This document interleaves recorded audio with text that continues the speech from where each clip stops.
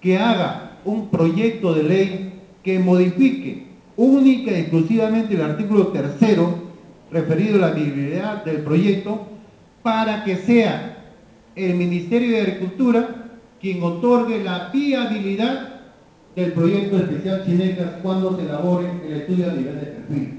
Con eso tendremos todo el camino allanado y podremos lograr el objetivo por el cual estamos luchando todos aquí. Muchísimas gracias.